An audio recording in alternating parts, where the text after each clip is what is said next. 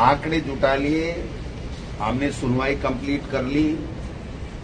सब संविदा कर्मियों के लिए अलग अलग डिपार्टमेंट वाइज क्या हो सकता है, किस तरीके से उनको समायोजित किया जा सकता है, किस तरीके से इस भर्ती, भर्तियों को आगे बढ़ा सकते हैं, वो सारी चीज़ें हुई हैं, चाहे वो पंचायत राज के कार्मिक हों, चाहे एनएचएफ के कार्मिक हों, चाहे दूसरे अन्य विभागों के कार्मिक हों।